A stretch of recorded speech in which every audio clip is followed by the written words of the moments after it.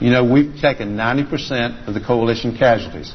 American taxpayers have borne 90% of the cost of the effort in Iraq. And we see the result of there not being a coalition. The first Gulf War cost America $5 billion.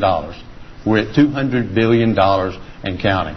John Kerry will never give control over the security of the United States of America to any other country. We will not outsource our responsibility to keep this country safe. Mr. Vice President, you have 90 seconds to respond.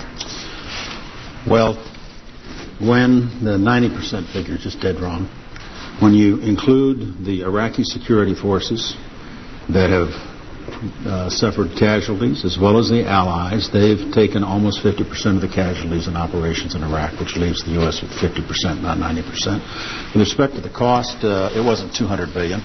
Uh, you probably weren't there to vote for that, but the 120 billion is in fact what has been allocated to Iraq. The rest of it's for Afghanistan and the global war on terror.